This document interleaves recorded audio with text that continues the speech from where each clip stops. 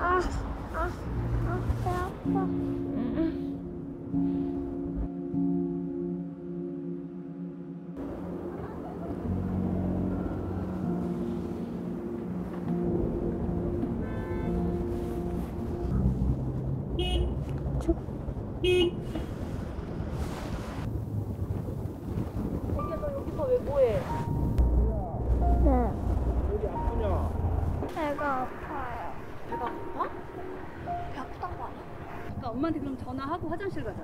엄마 전화. 화장실 가면 아니에요. 아 그러면 어디 어떻게 아파? 그냥 배가 욱신욱신거리고. 욱신욱신거려? 야, 언제까지 엄마 전화번호 물어봤고 언제 온가 전화해봐야지.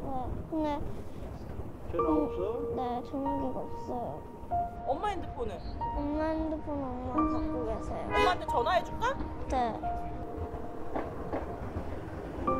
엄마, 엄마. 어, 어, 수연아, 왜? 응, 야, 저 있어서. 집에 아기가 근데 배가 아프다 그래가지고요. 어, 나 보건실에서 받은 거 있어. 찾아봐. 이거 뭐 필요하지 않아? 필요해. 기다려봐.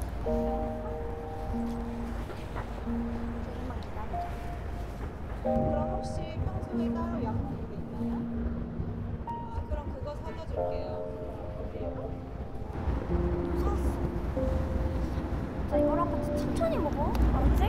감사합니다.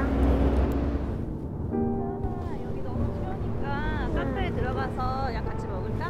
네. 여기 바로 앞에 센트럴 약국에서 제가 지금 일을 하거든요. 아, 그러세요? 네, 그래가지고 네, 아. 내려가려고. 그럼 일단은 여기 너무 추우니까 우리 약국으로 들어갈까?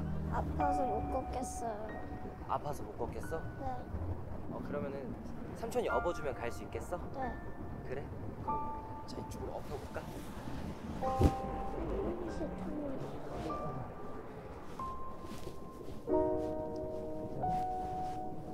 배가 어떻게 아파? 쑤셔? 네. 네네. 어 부모님 연락처 적었어요. 약국이 저기 있으니까. 손은 안 시려워? 손이요, 손 약간 시려워요.